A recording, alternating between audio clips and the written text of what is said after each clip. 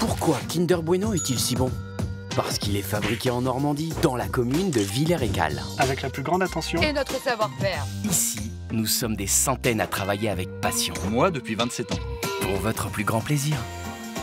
Et hop, il est prêt à être savouré.